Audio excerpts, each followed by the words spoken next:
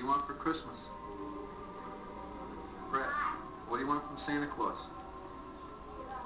Huh? You don't know? You don't want anything at all?